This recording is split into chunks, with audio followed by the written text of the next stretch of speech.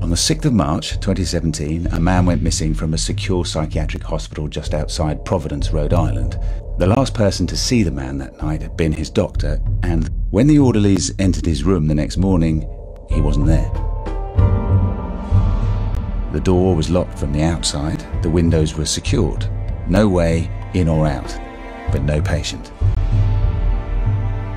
And the story we uncovered, the story that we're still uncovering. This one is not over yet, and we don't know how deep it's going to go.